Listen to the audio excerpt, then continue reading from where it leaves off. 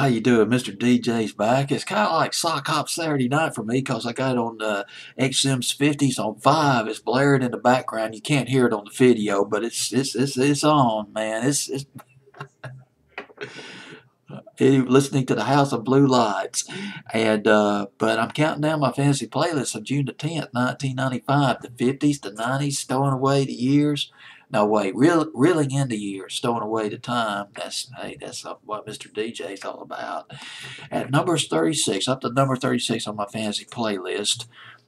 Dead gum, I might have stiffed this record out. I hate that. Nice record.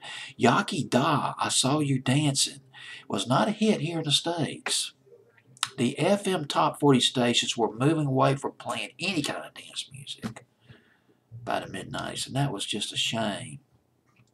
As a result, the record went to number 54 on Billboard's Hot 100. Yaki Da were from Sweden lots of groups from Sweden over the years. Sweden is a pop powerhouse. There's no question about it.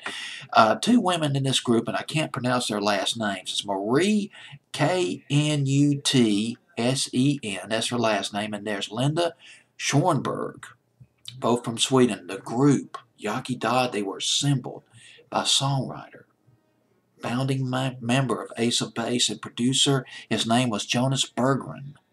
Jonas Berggren, one of the founding members of Ace of Base, he wrote their biggest hits. He wrote All That She Wants. That was their first hit in the, fall of 93. The Sign was spring of 94. That was a number one. And he also wrote Beautiful Life, which was a fantastic dance record by Ace of Base, but it wasn't a real big hit in, in the States.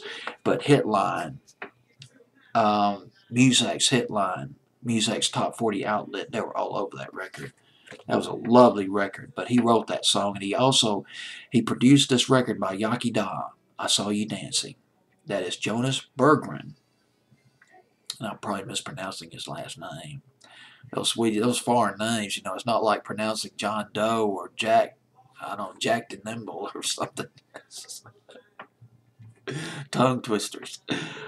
This is Yaki Da. I saw you dancing at number 36 on my fantasy playlist of June 10th, 1995.